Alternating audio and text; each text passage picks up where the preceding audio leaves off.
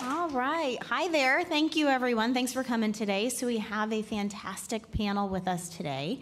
We have Kate and Sam, who are both with Foundation Presents. You might be familiar with some of their venues downtown, being the Social in Beacham. And then we have Brian here, who is an inductee in Hall of Fame 10. You can clap for that. Very good. And he has um, he has a long list here of so many things that he's done from, from production manager, director, um, with working with Blake Shelton, the CMT Awards, Sir Paul McCartney, um, Neil Diamond, Brad Paisley, WrestleMania, and several more. Several others, but that's a that's a nice listing there. So we're going to get started um, right away. So first off, I'd like to ask um, Kate and Sam talking about the um, Foundation Presents and the Social and the Beacham. Can you tell us, for those of us who aren't fam- uh, familiar with the venues, a little bit about the venues, the differences, um, maybe similarities, types of, um, you know, artists, um, you know, that are really most um, fitted and suited for your venues? Sure. Uh, hello, everybody. Thanks for being here. Um, so if you haven't been to our venues, we have two venues in downtown Orlando called the Beacham and the Social. One is a 1,300 cap room, and our smaller venue is uh, the Social 425. So we do. We also do some outside shows because um, we're a promoter company that hosts uh, our shows in house. Whereas sometimes rooms will have a different promoter come in and do shows in, in their rooms. So we're nice because everything's in house. Um, so, oh Lord, sorry. um, I forgot what I was saying. No. Uh, so a little bit about the similarities and maybe complete differences Oh, between yeah. your venues. Um, so, I mean, the biggest difference is the scale, basically. So, both of our stages are on the smaller side. The Beacham is a 100 year old building. It's very historic. We're very proud of it, um, but it definitely has its limitations because of its age. So, production often has to like scale for the size of our stages. Um, we do pretty much all every kind of uh, genre of music. Um, so it's fun because we're never pigeonholed into one category. We um, get to do pretty much anything that you can think of, which makes Sam's job kind of a challenge because he's our marketing manager. So I don't know if you have anything to add. yeah, what's up, guys? Uh, so yeah, I run all the social media and digital marketing spins for Foundation Presents, that being the social and the Beacham. Um, the difference in between the campaigns for the venues is that the Beacham you're working with a little bit larger artists than the social in comparison, so they might have a little more content to give us to market with. Because the unique position that I'm in is that instead of being like a club, for example, that like host our artists like as a club and that's our selling point. Tours come to town and then we host them instead. So we're in a way limited to what content that the touring artists have to offer. Whereas in social they might not have a plethora of content so i have to be a little more creative with our marketing initiatives. Very good. And actually, while we're talking about marketing, um, do you have an agreement between artists as they're coming in to what that marketing might look like, how they're helping, and what you what the venues will be doing? Uh, yeah, for each and every campaign, we have like a tentative marketing plan. Uh, most of it in our age nowadays revolves around social media spend and uh, targeted digital ads and things like that. Um, so I'll send over uh, an initial plan to the artist team for approval. And then if we need to make any adjustments moving through the campaign, then we'll do that for approval as well, depending on what they give me to market with. Very good, thanks.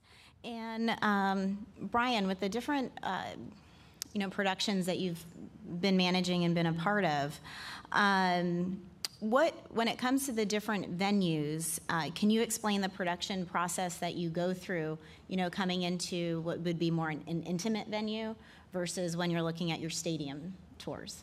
Yeah, sure. And it happens with every artist. Uh, the next tour uh, that I'm on, we will be playing A Market Arenas, and we do have a club date in there somewhere um, to be announced later. But um, yeah, we, we have to scale on our end. From our end, from a standpoint, we're already in the middle of a tour with 11 semis, and now we're going to go to a club, and we're going to scale that back. Obviously, you can only fit so much into the box. And, uh, and to make it reasonable for everybody, you, you want to stay within those bounds.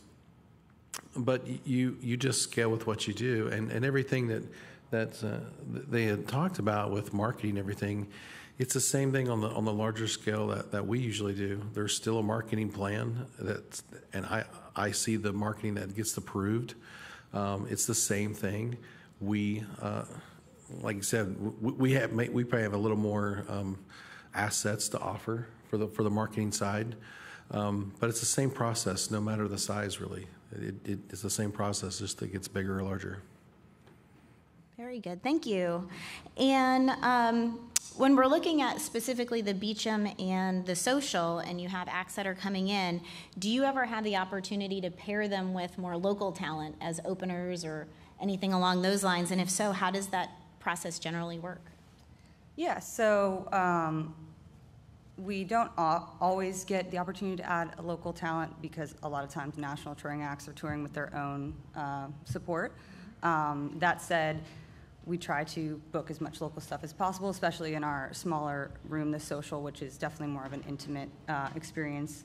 Um, and we also try to allow it to be like an incubator space for local talent to grow um, and network with other touring acts. So if they're not touring with um, support, then we try to put on a local, or if the show is not doing very well, we will push to put on a strong uh, local act.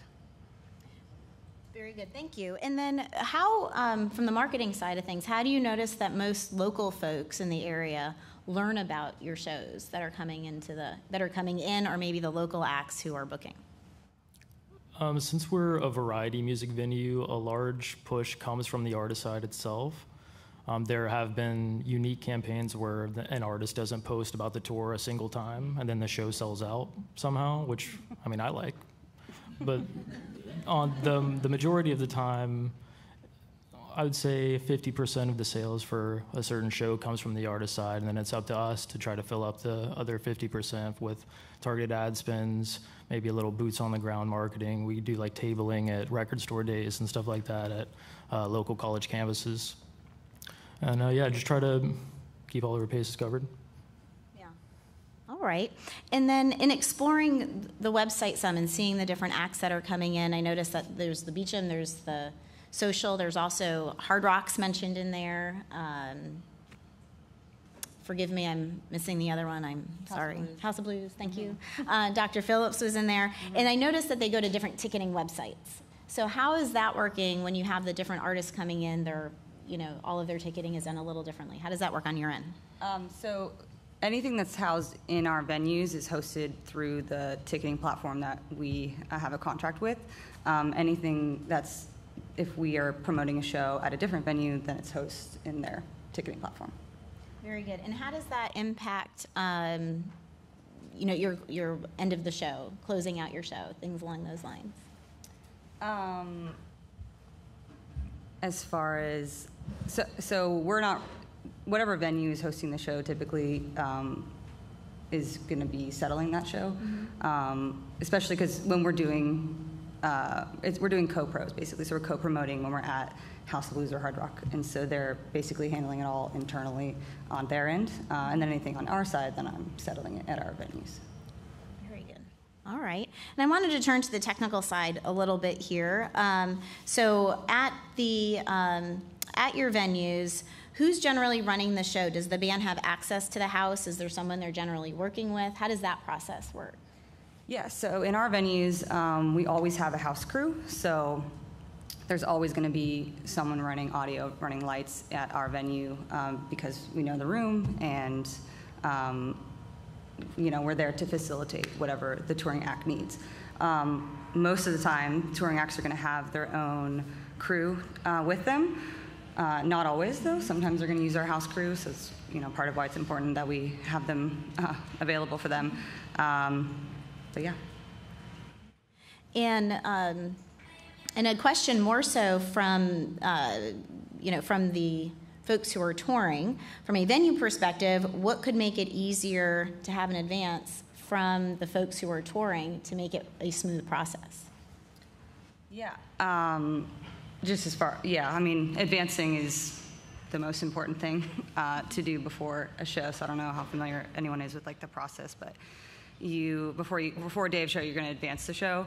Um, so myself, the production manager of the venue, and the tour manager are going to meet over email and discuss basically uh, the expectations for the day, what everything that they're carrying as far as tech, um, what their what vehicles are traveling in, um, what the run a show schedule is going to be, just like basically all the details leading to uh, that day, so that we're both, you know, going into and knowing what each other are um, anticipating, um, and then you know, basically the clearer that we can be in the advance, uh, the better the day is going to run. Because if you're, if I'm getting in advance like the day before and they're kind of very vague about everything, it can be, you know, it's it's always better to be prepared going into a day with anything, I guess. That makes sense. Very good.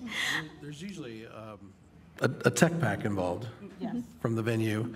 The, the venue, I mean, every venue should have a tech pack, and uh, for, for us coming in as the visiting touring group, I mean, that is, that's vital to us. The more information, the better. Pictures are great. You know, we're trying to envision your venue off of whatever information you give us. So uh, whatever technical uh, information is there, you know, from a technical side, where is power? How far away is it? Um, and where, where do certain things go? Um, you know, where, what what seats can maybe be moved or not moved in the venue? Um, all of those uh, things are, are very important to us, and try to make that the most clear day. And then back to your house crew, same thing. The, uh, having a great, knowledgeable house crew um, is, is, is valuable. To give you an idea, when I walk into a venue, the first person I'm going to meet is a house person, a house representative, who's going to know what I need or can answer the questions of my needs. You know, remember your house crew is very vital. How many shows a year do they do in that venue, and how many shows are you doing? I'm only going to do one one show in that venue, most likely. That house crew has done 100, 200, who knows? So they really have a lot of vital information that can be passed on to make your day very easy. And in addition to the, to the house crew and the venue, um, Brian, what are maybe some other teams that you're needing to work with when you're coming into a venue, especially if your show has, you know, pyrotechnics, if it has, you know, other, other um, bells and whistles to it? Um, So we're, we're going to have, if we have pyro, we're going to need a fire marshal. You want to be very nice to him. He can, he can shut your show down in a hurry. Um, depending on what kind of effects you have, we may have gas, we may have CO2 um, that needs to be ordered. So hopefully the venue has, has relationships of where to order that from and to have it delivered. Um, you're probably going to want to eat at some point, so you hope the venue has a great relationship with some restaurants around uh, to be, or with some great caterers. So you're really relying on. I mean, these these are the back the back the local people are the backbone of of our of our day and what makes that easy or difficult. And uh, uh, they're they're invaluable. They're invaluable information for us from a touring standpoint. Very good, thank you. Uh, on the day of the on the day of an event, a load-in day, you know, can you walk us through what that looks like from you know the moment somebody shows up? For example, where do they even load in? Are they loading? Are they closing down that street and loading in from the front? Do you have back access to a loading dock? How does that process all work from, you know, getting that artist or group or groups um, into the venue? Yeah, so at our venues, um, we have a back alley, like loading area. So uh, the buses or, you know, van wagons and trailers, they're all going to park back there.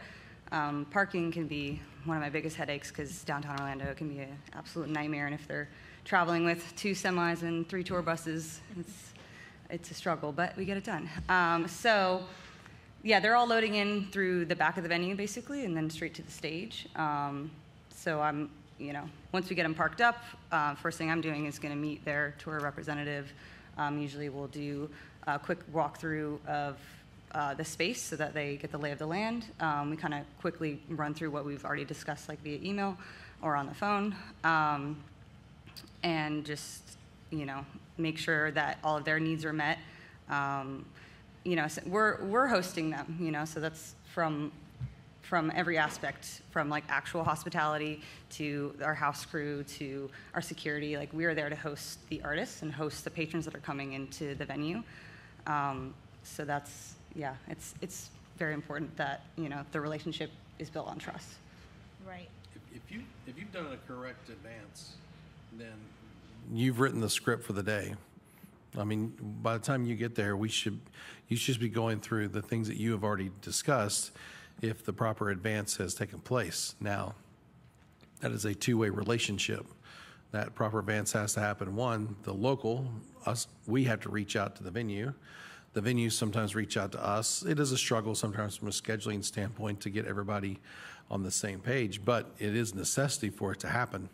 Um, and I, uh, I, I know where, where they are. You know, I'm trying to contact them, and it's, hey, I'm in the middle of a load-in. Um, can we do it this day? Um, no, I'm in the middle of a show that day, and I'm in California, so there there is a bit of a, a phone tag going on or email tag, but you have to stay on top of it because if it is done properly, it's just like reading a script come show day. Very nice. Um, are there certain days of the week when booking, for example, are there certain days of the week that you're really trying to book certain talent for a weekend, for example, or during a weekday? Um, how does that process work in working with the talent that maybe wants to come in versus talent that you'd like to be able to book during certain times of the week or even times of the year, to be honest? Yeah, so I mean, obviously the weekend is always the best for any show. Um, that said, sometimes it, you know, depending on the artist, it doesn't matter. I mean, we did Big Thief on a Monday and that sold out. So it, you know, it definitely varies, but um, a lot of it has to do with you know routing and how the agent is routing their whole tour. And you know, they're they're reaching out to all the venues and getting uh, holds for dates and you know, and then filling in um, what makes sense for for the routing. So sometimes, yeah, we're we're not going to get that Friday show because you know they're going to be in in t- Dallas on Friday, so we're going to get the Monday show or something.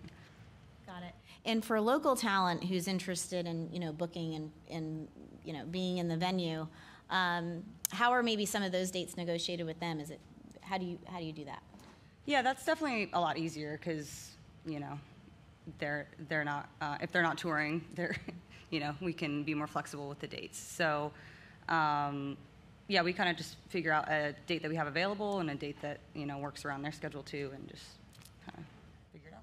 Very good. And would the contracts typically, and this would even include marketing to some degree, would the contracts work differently if they say, I really want to be there on a Saturday? And you're like, well, it's, open, but it's a Saturday. You got to pack my house, you know? So how does, you know, how does that conversation, how does that negotiation or contracting work? Yeah, I mean, I, I'm sure it varies from venue to venue. I've only been at uh, these venues booking, so um, I mean, at least for us, it definitely can. I mean, the contract might not vary, but it's more like who actually gets the date. So if I have like four holds on that date, and there's one artist I definitely want, and one I don't really give a shit about, like the one I want is gonna get that date.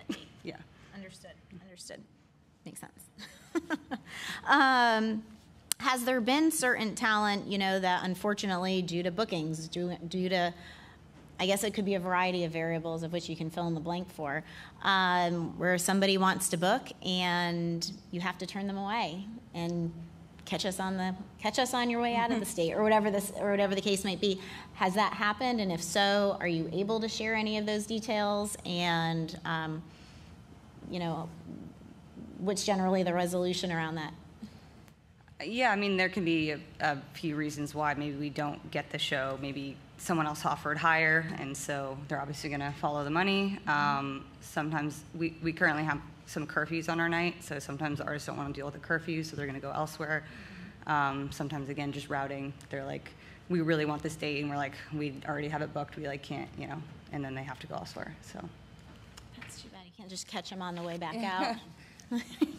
catch us on the flip side of Right. things, perhaps.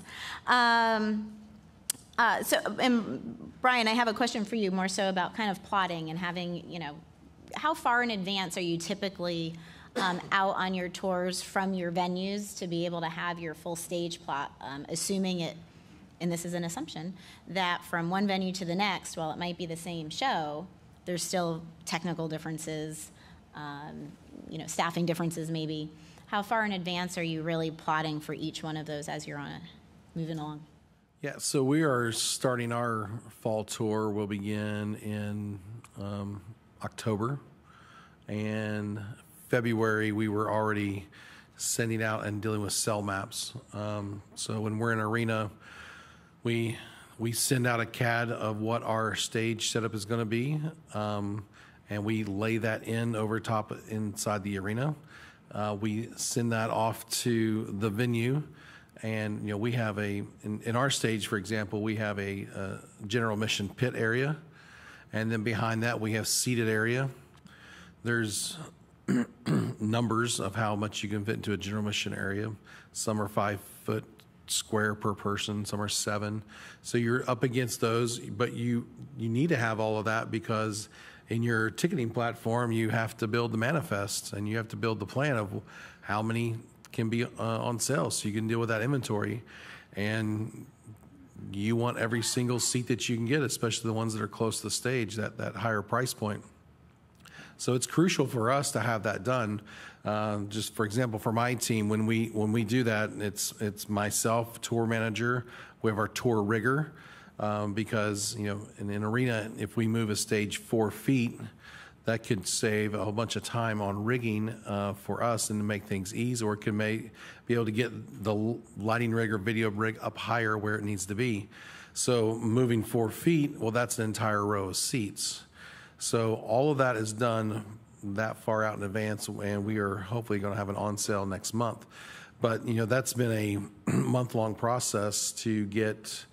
I think our fall tour is going to be 24 cities.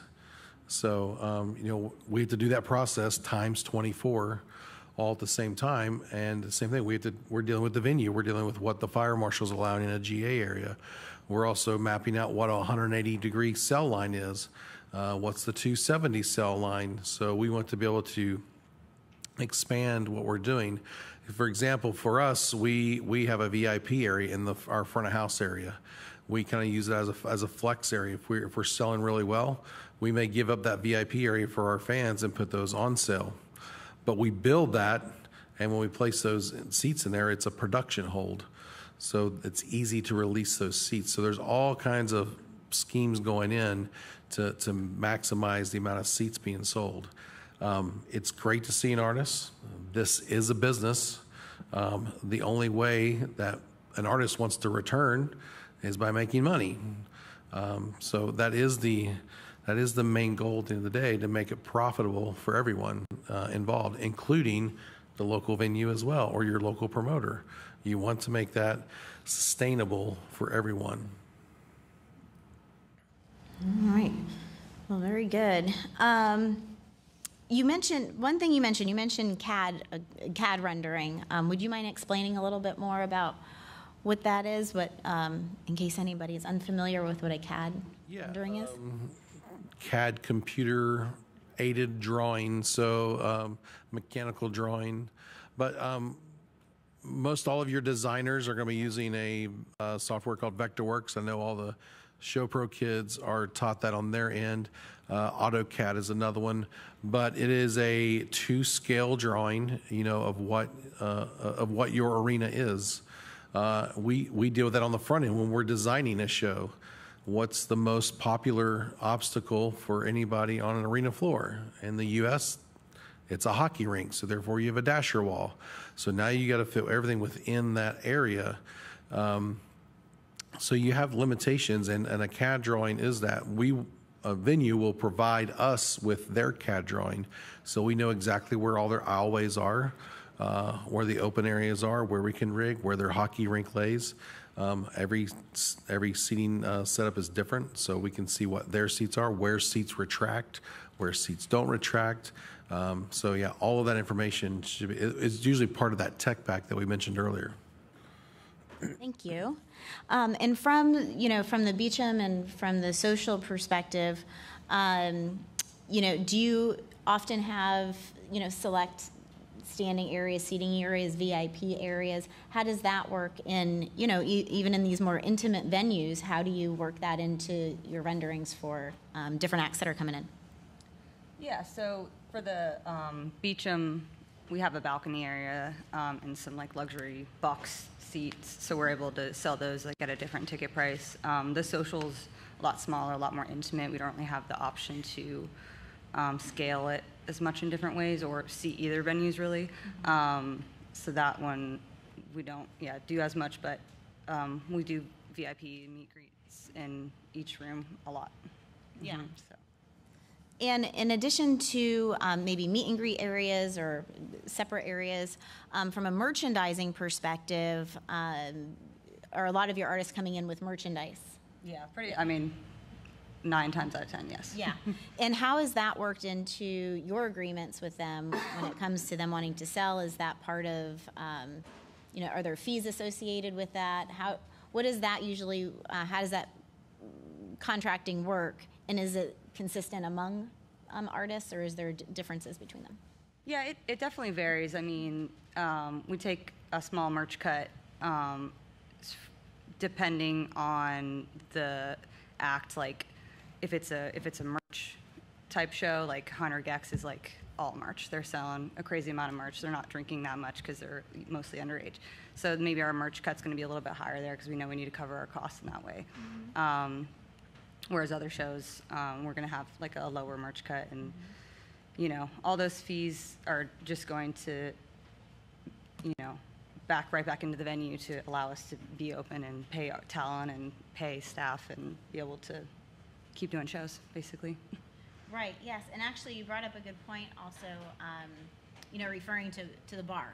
You know, when you do have, you know, a bar open, um, is that something, that's something actually that comes up frequently in, in, in my class is, you know, how does that agreement work? Does the venue keep the bar? Does that get split with the act? Do they keep the door sales? Do the door sales go to the act or merchandise being part of that equation? So how do those, um, how does that generally work when they're, when you do know you're going to have, you know, it's over 21? Um, yeah, I mean, all, all contracts kind of vary per artist, um, and I'm sure like per venue. Um, most of our deals are um, guarantees, so we're going to guarantee an artist X amount of money versus X amount of the box office, uh, whichever one is greater. Um, sometimes we'll do a door deal, which means they're just going to get a flat percentage of the door. Um, we always keep the bar because again, that's kind of how we keep the lights on. Um, so it, yeah, it, it'll just depend on what kind of act is coming in. Got it. Very good. And um, Sam, I don't. So um, I wanted to ask you about social media. That had come up. So how are you managing those, the various platforms? I'm assuming that there are differences between the acts that are coming in and maybe where they tend to be followed more. So how, how do you keep up with all, all of those pieces um, in terms of your social media platforms? Um, well, if anyone's ever had experience with Meta Business Suite, which is the bane of my existence, it's also the most useful tool currently in terms of productivity across multiple platforms. Uh, so a lot of my time is spent in the Meta Business Suite, posting on Facebook and Instagram, respectively. Uh, most link referrals come from Facebook across pretty much every single show campaign. So that, along with Instagram, those being connected within their like targeted ads and uh, ad spends and stuff like that, are top priority for us in the way that we run things. Uh, Twitter is okay as well. There are a lot of artists that have a predominant following on Twitter, so I'll, you know, in those show campaigns, I'll make sure to put a little bit more money behind that. Um, but across the board, it's basically just making sure that people are aware that the show is happening. So, if anyone's unaware, the marketing is split up into three phases. So, you have opening, maintenance, and closing. Most of the ad spend is spent in the opening, just so people, you know, are aware that the tour is happening. And then along the maintenance, it's kind of like we'll do like a few posts here and there, but it's kind of on the artist to give me like tour promo videos as the tour is progressing or as the tour approaches. And then we utilize those um, along the maintenance, and then closing we'll kind of put a little bit more money just to remind people that, hey, you know, next month, here's the show that you've been looking forward to. Just make sure you have your ticket. Um, and there's ways that you can get a little bit more out of each of those phases. So if a if a show has, let's say, 200 tickets left to sell, you do like a low ticket warning, and that kind of yields us a lot of tickets that we can kind of just get sold and then hopefully sell out the show before it even happens that day. Thank you. We're lucky that Sam's incredibly analytical, but he also is incredibly uh, creative, and so he, he also designs a lot of our artwork. Um, He designed this T-shirt, and he does, and he does, uh, you know, builds a lot of our, our show posters and our calendars. So there's a, like, you know, marketing, a creative marketing side too that Sam, thank God, is so good at both of them, so, love you. Very good.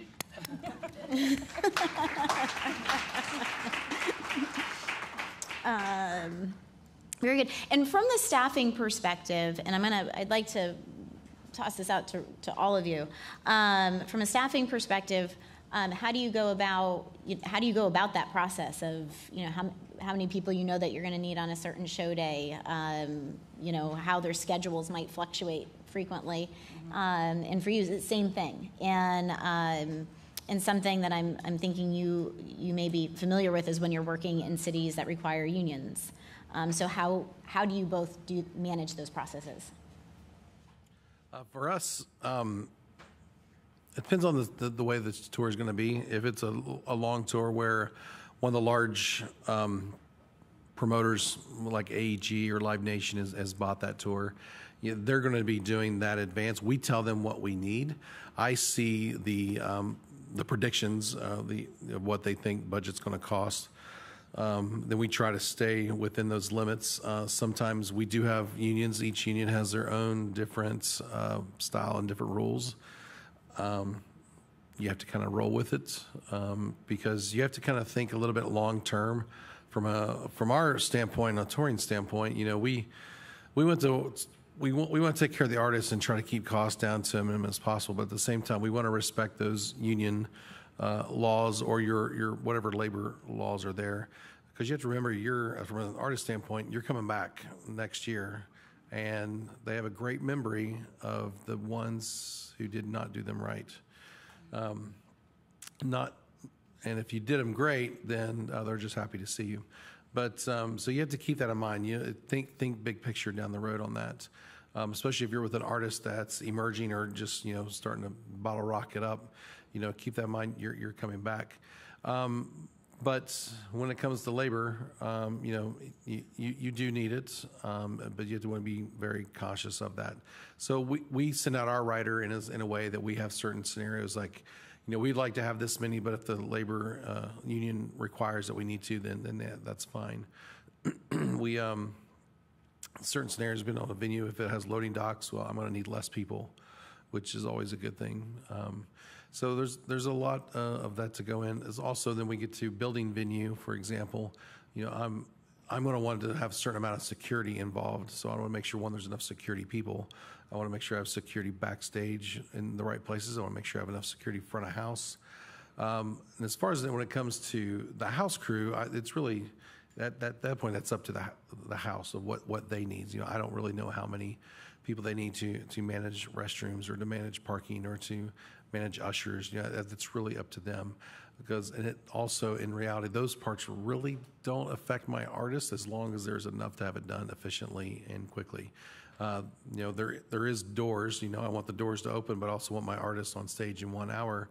So yeah, I want enough people there so that we can get in because I want a full house when my artist starts. I don't want uh, half house and I got another five thousand people sitting outside trying to get through um, metal detectors. All right, so if that's going to be an issue, then hey, well, I'm going to talk up front. You know, we need to make sure we get through. And I'll, I'll ask the question. You know, we're going to have this crowd come in. We're going to have 10,000 people at this show, you know, is an hour doors enough time to get people cycled through? Again, you're back to your house crew. They've done that multiple times to see, yeah, we have a, a system in place that it does that very quickly and efficiently. Uh, the big thing for us was coming out of COVID, all right? So some people had to be tested, some people had thermometer checks. I mean, it was just roll the dice. You didn't know what was going to happen every day. But again, you had to deal with it. And so that was that was a big question that's usually not so much now, but I had to make sure that great, we need to make sure we have enough people that can get through the door in an efficient manner. Yeah, um, I, I schedule staffing, you know, we have kind of like a template of what we're going to staff per show, but then that might vary depending on um, what they're advancing. So if they have like a really heavy production, then I'm probably going to add some more people, or if their production ends up being super light, I'm probably going to cut some hands. But it- same with security too. Like if we know ahead of time, I mean, we know what kind of act is coming in. So if it's like a sold out, you know, heavy metal show, we're probably going to have extra security um, because you know people are trying to have a good time, but they get a little rowdy. Um, you know, whereas if it's you know not selling well, or if it's like uh, beabadoobee, like they're very, you know, they're teenage girls. They're pretty chill. I mean, they're terrifying, but they're mostly chill. So, but yeah. I mean, and um, you know, we're, we're there to host, uh, kind of piggybacking off what you said, we're, we're there to host these touring acts, but it is our house and we do, you know, expect to be respected. So if, you know, if, if people start treating our people bad, like, it's gonna be a bad day pretty quickly. So, and yeah, you're, you know, we remember that when you come back around. Right, I can imagine on both sides of Yeah, that. That's for sure. definitely mutual, or reciprocal, I should say, uh, relationship there. So, um, kind of getting back to security a little bit, risk management, um, you know, uh, and I don't want to get into too many details because that's part of risk management is maintaining some of that. Um, but how has you know Foundation Presents um, you know responded to the need of additional security at downtown venues, and how does that impact? um, artists who are coming in, how does that conversation, you know, how does that conversation flow to make sure that it's a, you know, it's a safe event and, you know, like you said, here to have a good time, but Right. keep the walls up. Yeah, so safety's number one for us, and I know everybody hopefully agrees and says that at their venues. Um, I'm really proud that I, I walked into venues that are already, you know, sticklers about that. So they've always wanted everybody that comes in the building, everyone gets searched when they come in, um, everyone gets like metal detected wanded. Um, so the continuing educa- education that we're doing, um, you know, speaks to that. And we, uh, so we have we hosted recently a like active shooter uh, seminar for all of our security, which unfortunately we have to do.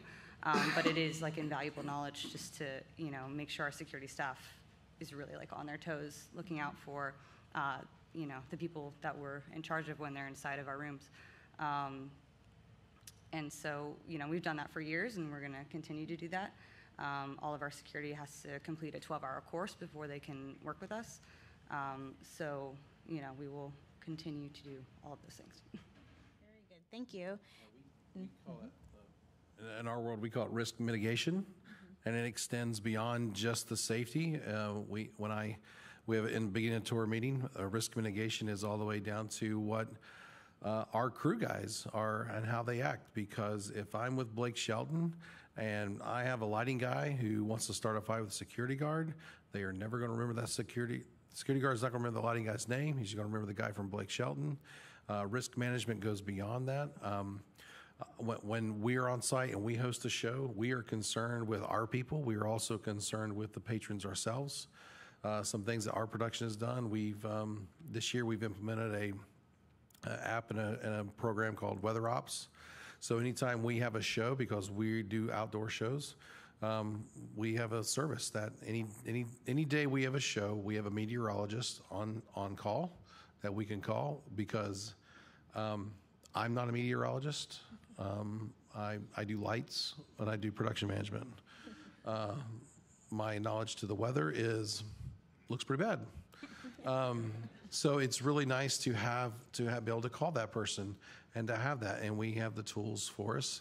Um, it, it's interesting, and when when we go around, I've I've asked venues before, what's your protocol? You know, if we need to evacuate, and they, they have great protocols. I was like, okay, awesome. What's the protocol for everybody backstage?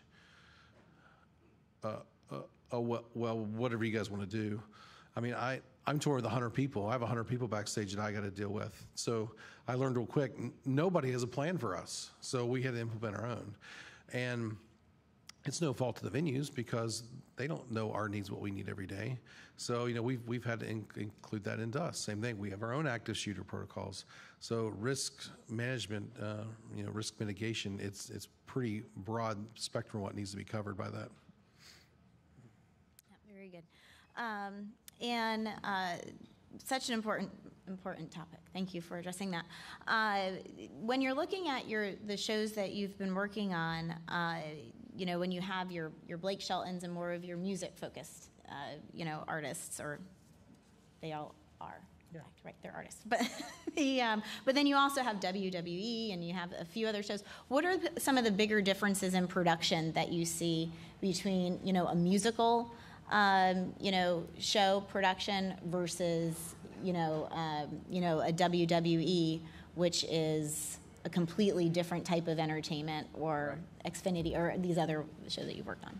Yeah, I mean, it's, it's, they are vastly different, and you have to be able to uh, adjust for that vastly different. My, um, if you can imagine the, I know it's going to be hard to believe, but the demographic for a Blake Shelton show is vastly different from the demographic of a Neil Diamond show. Uh, for example, one of the issues we had on Neil Diamond in some venues was getting people out of the venue for loadouts. Why? We have a higher percentage of people in wheelchairs. It's an older crowd. Um, so you, you have to kind of plan for that. I do uh, television shows as well, and I've done television shows where we go into a small club. I mean, we're putting a lot of stuff in there. I mean, things that they maybe they haven't done before. But you know, again, it's all about that advance work. It's all about that phone call up front, and to to put out as many of those fires on the front end, and also to prepare for them what's what's coming at them. Um, you know, information is key. There's should be no secrets. Um, I don't want to keep a secret that I'm going to set a ball of something on fire. That's not a good thing to have as a surprise. Um, I also want to let security know that there's going to be CO2 jets firing right behind their head. You know, when that's not coming, it's quite a surprise to someone. Same thing with fire. You know, hey, there's going to be fire near here. You want to tell everyone around you. So it's good to be very transparent with what's going to happen. Uh, I worked with an artist that liked to throw beer out in the audience, all right? Got to watch. There may be some underage people, so there's some things to go through that. I'm just saying, but all that up front helps. Give that information up early. Yeah, we hosted GWAR recently. GWAR, yeah. That's exciting. That's exciting.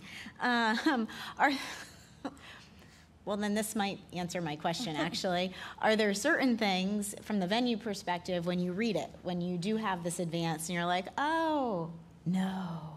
like, what does that look like? Wh- Um, you know, what are some of those things where you've just been, you know, sadly, you know, this was fun, fun to read, but, you know, we, we can't really move forward with this as it is. Yeah. How does that work? What are some of those things that you just can't? Um, or, uh, yeah. Yeah, I, the only thing we really say no to for sure is pyro, um, because we are a hundred-year-old building, and that would end pretty badly. Um, so nothing, yeah, that has no like sparklers or like anything that has a fire element to it. Um, but we do CO2 all the time. Um, besides that, the only thing we have to say no to is just like what our tech um, limits are. So there's some stuff they're going to bring in that we just like don't literally have the space for, um, or the you know power capacity to host it. So that's really like the only reason um, that we have to tell them to scale down. Got it. And from a, from a sponsor perspective, or, you know, with touring artists, you know, how they're working with different brands, for example, has that ever posed an issue with coming into the venue, or, um, you know, how does that often work?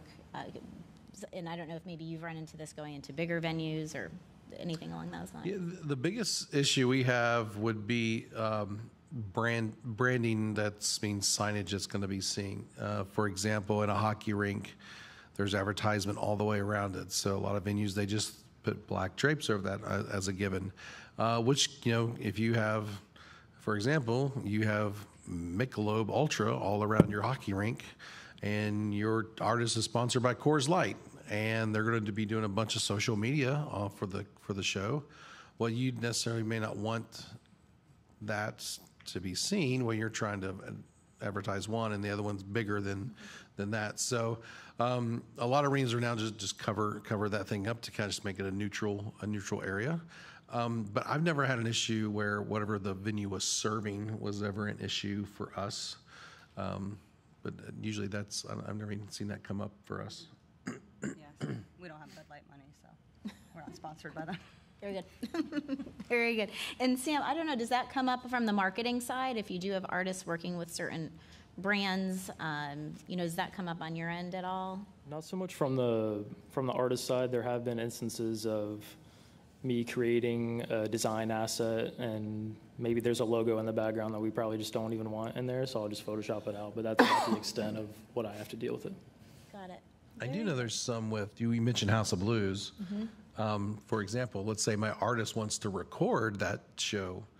Well, now House of Blues is a very branded thing, and then all House of Blues have a beautiful House of Blues, you know, piece upstage center.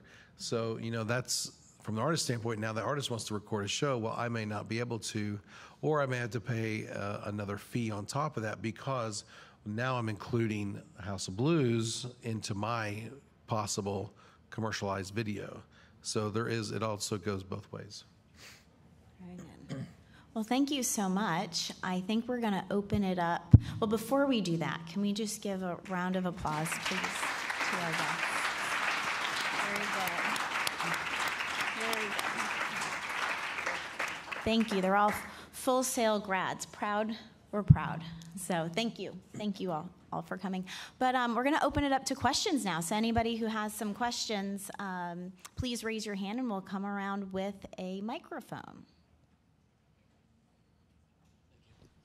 I know uh, your reputation as like an event promoter is probably one of your most valuable assets. So, as like a startup event organizer and promoter, how what are some ways you can build that reputation up? Um,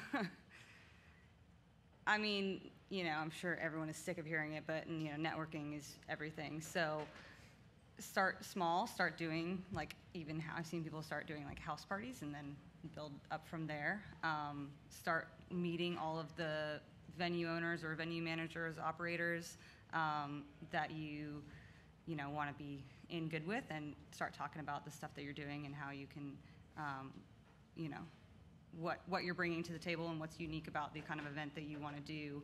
Um, that would be my advice to start. Is just start talking to people. You're in a room full of people who all have something in common. Network with each other, most definitely. Um, I saw a few hands go up. Yes.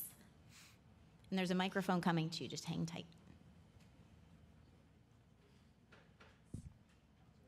Hi.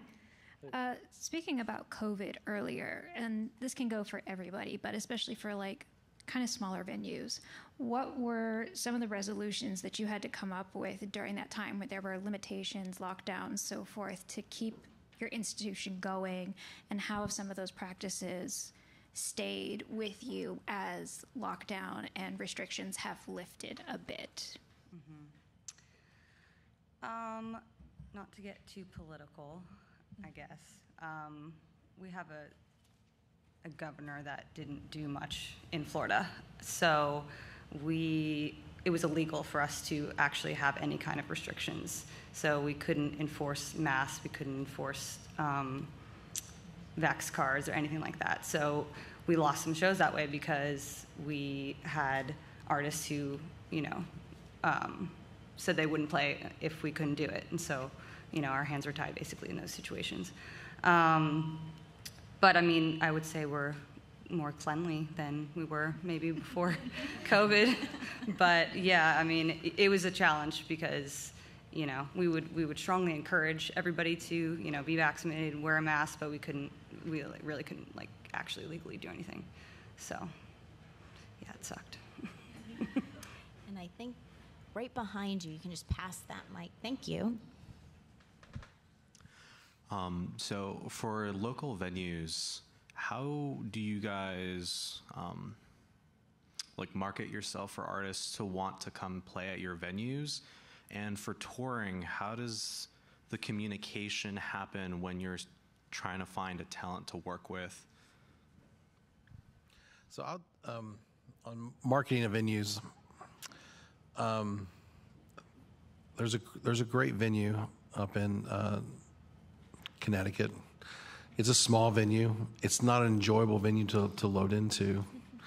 Um, but one thing that the venue has done when you're there, they take care of dinner, and it's a massive seafood display and they have it, we, we call it it's like summer camp for roadies. It's great. There's bikes you can ride.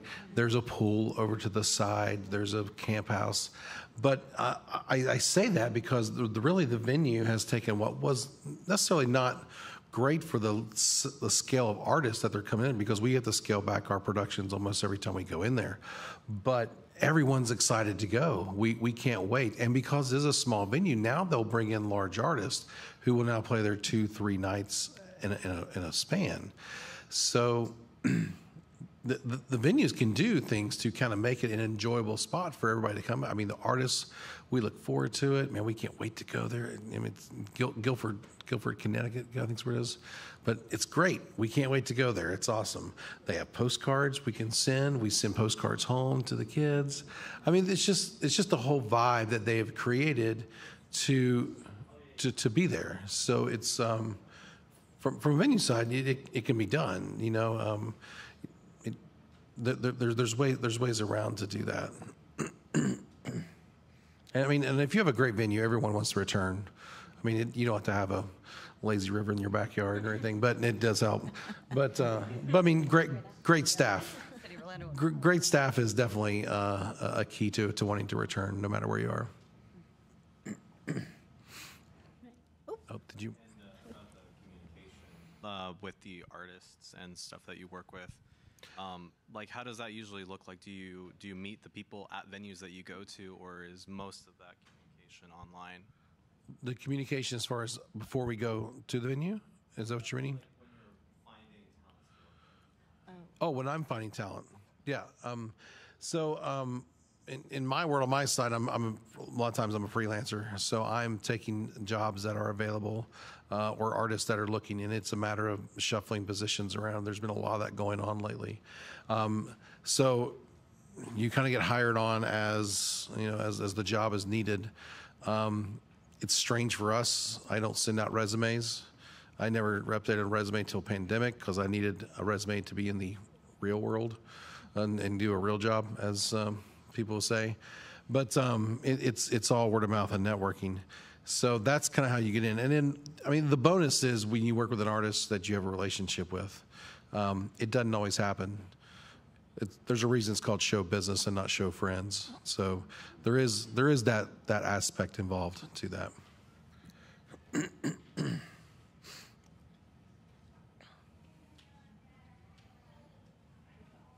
I don't know. If you all want to try it again, as, as quick as you can go. um, you mentioned that you had to uh, deal with an audience like full of really uh, like seniors and dealing with wheelchairs.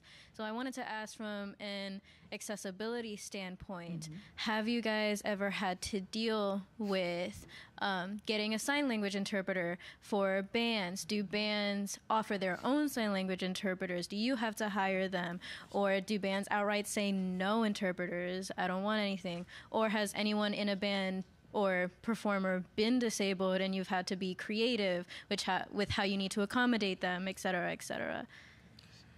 Yeah so our our venues are ada accessible and we often have people reach out um, to like reserve space for themselves so we we do that like you know not every show but like most of our shows.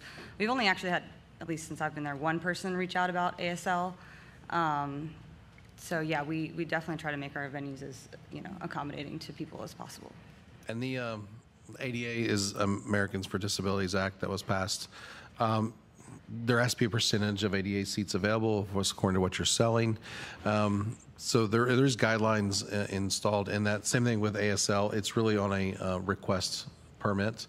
Uh, from a artist standpoint, when when we hear there's going to be an, an ASL, it's handy to have a light on them. So you know we want to make sure that's that's available.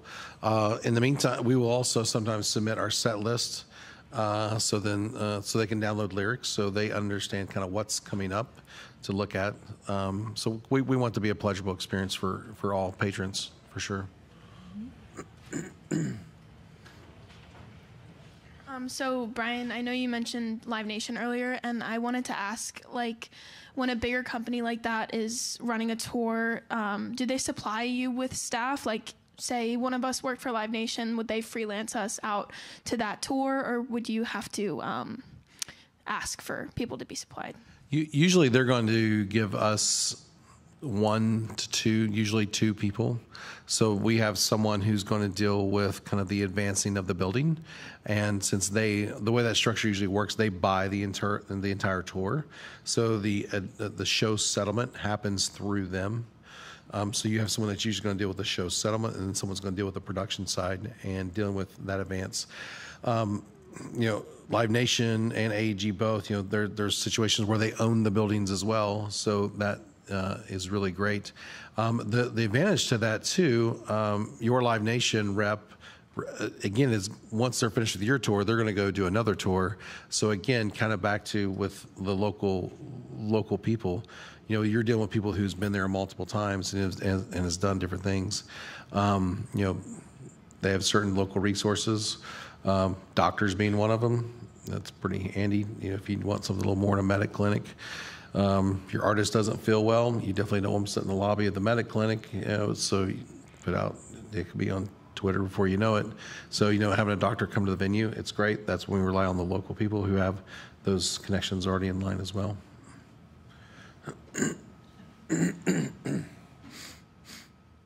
There's, there's one in the back and then two over here.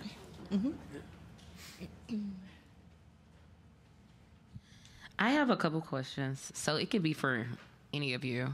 Um, my thing is with the tours that you have, um, are they pretty diverse, meaning the music genre, or do you try to stick with, like, like she mentioned, I think metal, like metal, but you know how they have pop and then they have the urban. Like, are you all pretty much open to a variety of different artists that can tour on your tour? Sorry, was that for me? Anybody, either one of you. Oh yeah, um, yeah. We we do like every genre pretty much. So I mean, we had double shows last night. So we had a hip hop act in the social, and we had a kind of emo alternative rock show in the Beacham. Um, so we definitely don't really stray away from every, anything. We like to do everything. And kind of piggybacking off of what he asked, how do you all go about um, how do the local venues here? Because I didn't really get an understanding on the answer.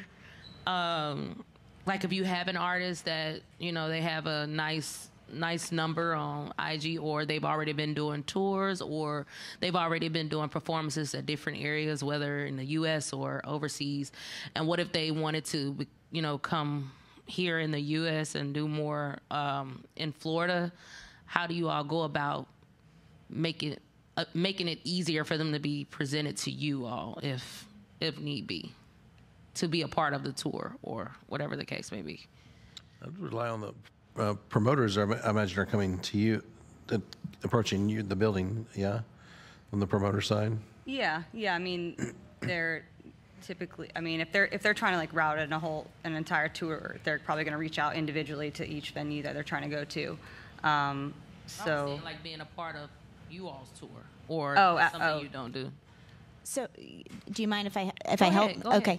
Um, so, if I'm understanding correctly, um, they could be an maybe an independent artist who's looking to get on the so-called ticket, maybe of a bigger tour. Is that what, is that what you're asking?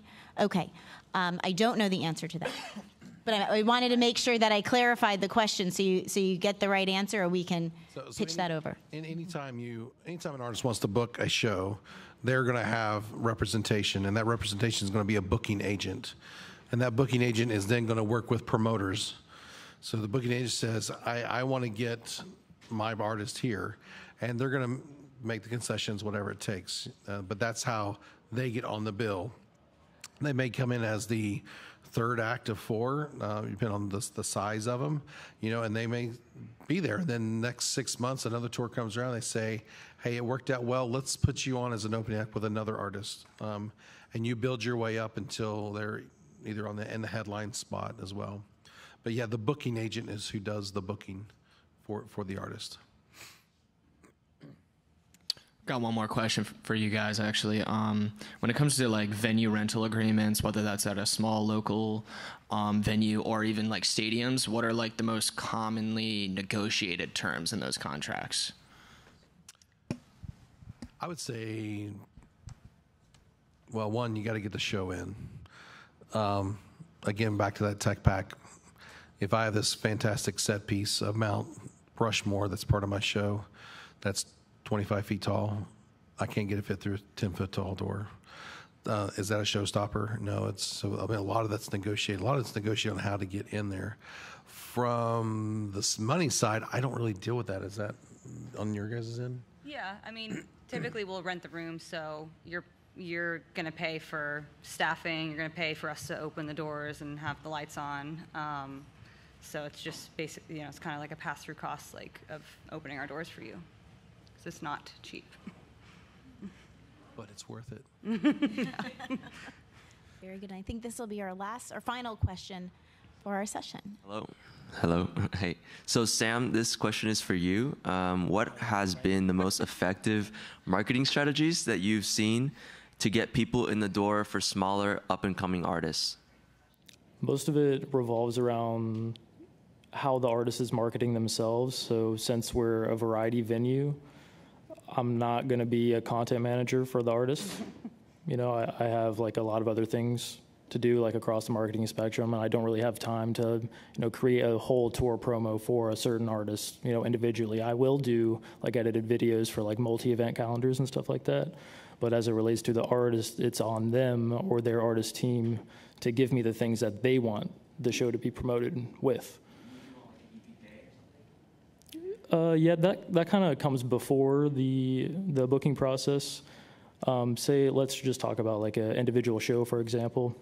If someone was coming to either of the venues, I would recommend, of course, having the tour advertising materials. So that's like the tour poster. They could have like a couple tour promo videos you could either use those for like TikTok or Instagram Reels or something like that, like short form video that advertises all the dates on the tour, or it could be localized for just our date. It could be something like a liner video, which is the artist, you know, shouting out the venue, like, yo, I'm coming to the social on this date. Tickets are moving fast, you know, make sure you buy yours. And could be like a little more personal angle.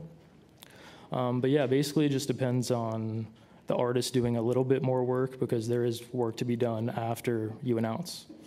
And going back to what I mentioned earlier, is like a lot of artists don't have the luxury of having a huge fan base to where they post a tour ad one time and then the show sells out that day.